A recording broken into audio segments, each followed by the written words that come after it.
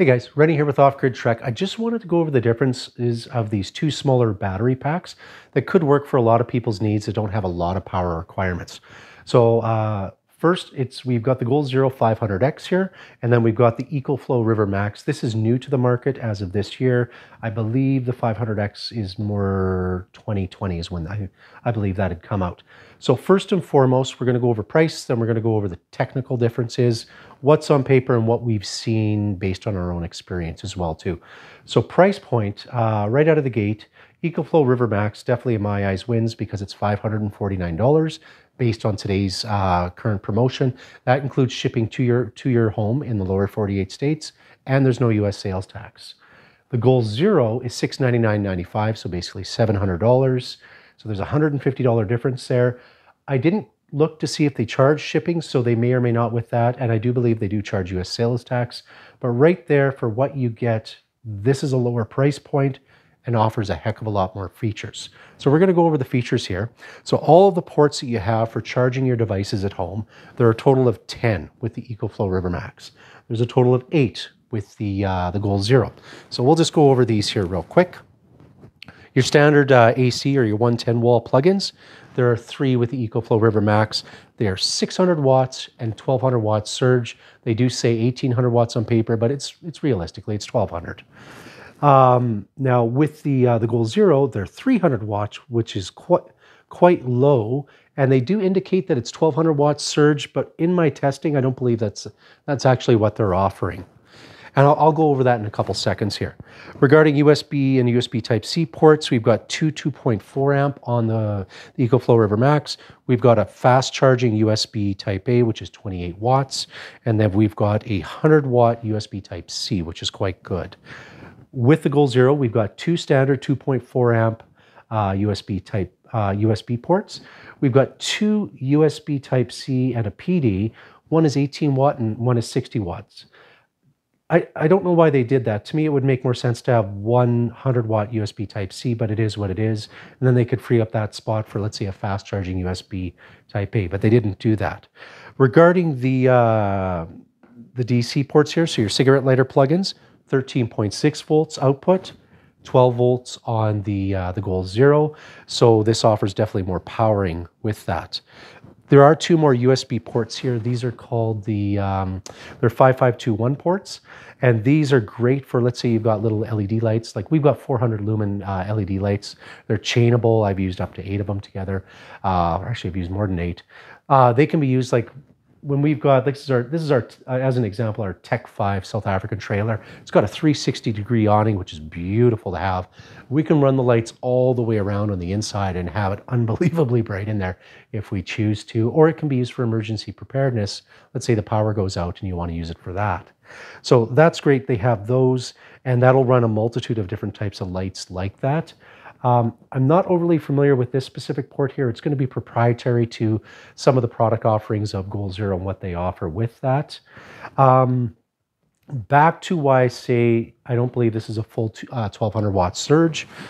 When you compare the differences between between the two, two of the tests we ran, and it's in, a little bit later on in the video you see with the ice maker that we used. Um, first and foremost, we used the fridge at home. It's It's got a, a dual French doors at the top. It's got the freezer below ran it beautifully, five and a half hours. Battery capacity on this is 576 watt hours. For it to be able to do that, it's, it's quite impressive. I was expecting, say, four and a half to five hours because this is a 505 watt hour battery uh, pack. But it, within 30 minutes to an hour, and it must have been when the compressor kicked in and it drew more power, your little white uh, AC light, it turned red, it tripped it, and it actually, it wouldn't run the fridge. I ran it two more times, so a total of three times, and it just wouldn't run the fridge. It just it there wasn't enough power coming from these plugs. So I was quite disappointed with those results because in my eyes, this cannot be relied on for emergency preparedness just because of that specific reason. Regarding what we have at the trailer, we have a, um, a portable ice maker. So again, I don't know if people know uh, a lot of the portable ice makers out there, they're not energy they're not that energy efficient, especially when they first start up. So you got those little fingers where the, the ice goes around there, where, where, the, where the ice forms. But when those first initiate for about, let's say, the first 10 seconds or so, it's between 1,050 and 1,100 watts draw that we saw. The EcoFlow, it was, it was it ran it beautifully. We ran it, I think, for about three hours. We had all the ice we needed for the day. And while we were doing it, this was charging from our 120 watt solar blanket. And it, yeah, it was more than enough power. In fact, at the end of it, this was fully topped up. We had ice and I was able to use it for, for powering other devices. Within five to 10 seconds of running the goal zero, powering that ice maker, it just kept tripping it. It wouldn't run it because it was too much draw. That's why I was saying, they say this is 1200 watts surge, it wouldn't run it. We, with 1050 and 1100 watts, just below 1200 watts coming or being required for that ice maker, this, it just, it fell short from that. Uh, regarding how these power. So each of these are going to power from solar, each of them are going to power from the wall, each of them are going to power from your vehicle. Where I believe the EcoFlow uh, shines, you can charge, it'll provide 120 watts uh, right from your vehicle, from your cigarette lighter plug-in. Where it really shines is how quickly it charges from the wall. This will, the EcoFlow will actually power from the wall in just over an hour and a half. They say 1.6 hours. Uh, whereas this, um, the Goal Zero with the, the power cord that comes with it, it's a 60 watt uh, adapter or 60 watt max, it'll go through it. So we're, we're looking at 10 hours it's going to take to charge. So again, not that great for emergency preparedness for that reason. Regarding charging from solar, uh, the EcoFlow River Max will take a maximum of 200 watts, 25 volts, and 12 amps. Whereas the uh, the Goal Zero here, it's a maximum of what is it now? 13, no, yeah, 13 to 22 volts, 10 amps, and I believe it's 150 watts is what they say. So it definitely won't charge as quick from solar specifically from that reason.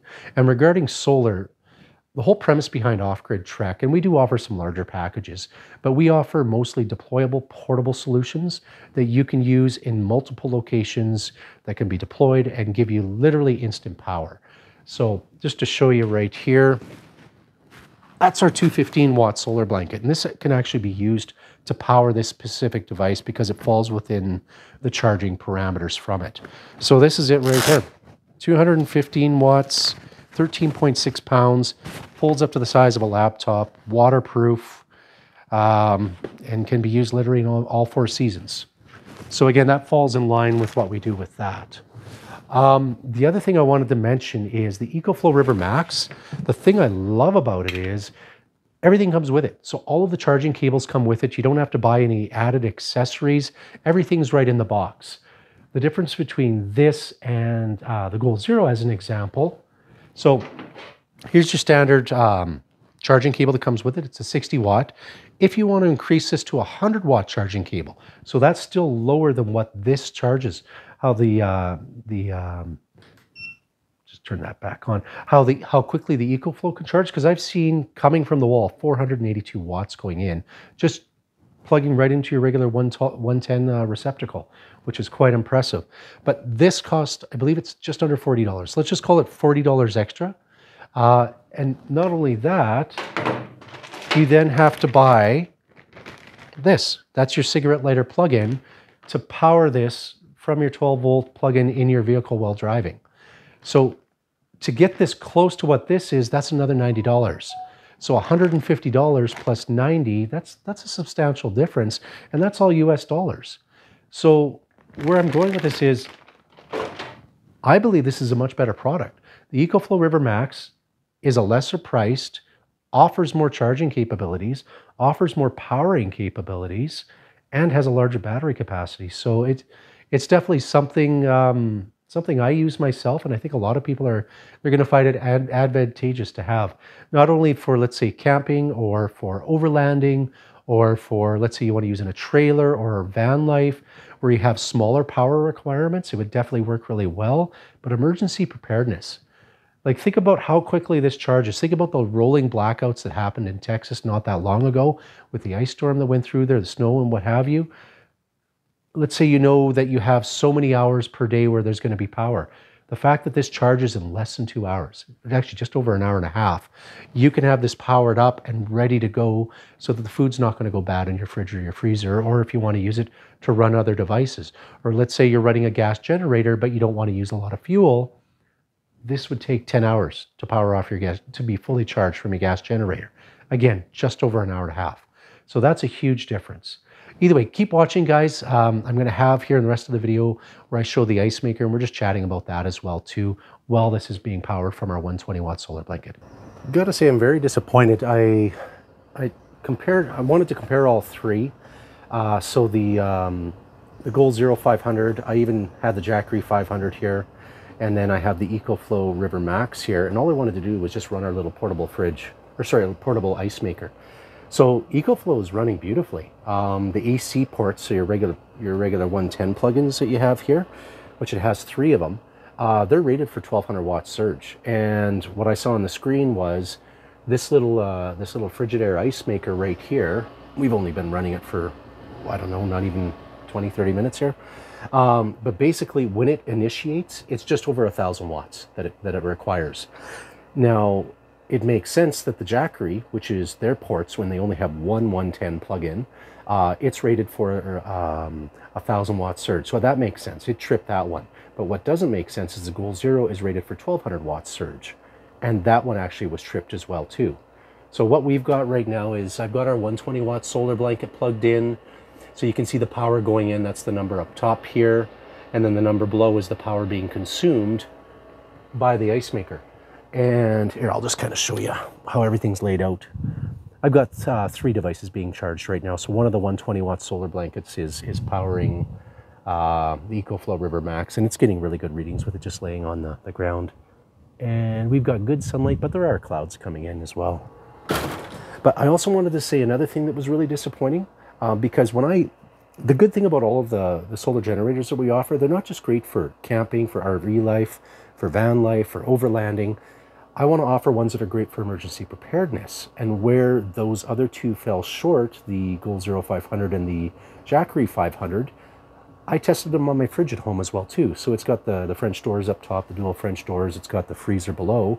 Neither of them were able to run the fridge for that long. They turned themselves off as well and stopped providing power. Whereas the EcoFlow River Max, it's kind of, in my eyes, the best all-around solution for this for this such a small battery pack it was able to run my uh, my fridge my fridge freezer for five and a half hours, which was actually quite impressive. And think of it this way too, because of how well this guy charges, or how quickly it can charge from both solar, from um, from solar, from uh, from the wall, and from from your vehicle. Uh, let's say you've got a grid down situation and you've got a gas generator. Well, then just go plug it in plug it into the gas generator. It's 1.6 hours, so just over an hour and a half, and then you've got full capacity again. So you don't use very much fuel to do that, and then you can use your uh, your River Max to to power your fridge in the house or whatever other devices you're looking at. But either way, guys, I just wanted to give you guys an example, um, just another comparison, and just what I'm seeing here. Uh, keep in mind we have several packages available. This is one of my favorite ones for more of an entry level, this EcoFlow River Max because your uh, your battery capacity is 576 watt hours but for what it is it offers quite a bit. And then comparing it to the um, to the goal zero 500 so for you to buy all of the accessories required as an example so it doesn't even come with a car charger. It comes with a 60 watt wall charger. The 120 watt is actually more expensive so you have to add that in. So when you factor all of that in you're just under a $200 us difference to get a lesser package than what this is. So at the end of the day, the math makes more sense. It's a better package, there's better technology, and it's a much better price. And your cost per watt hour is a heck of a lot less as well. So yeah, uh, have a great day, guys. Uh, my name's Rennie. I'm the owner. If you have any questions, let me know.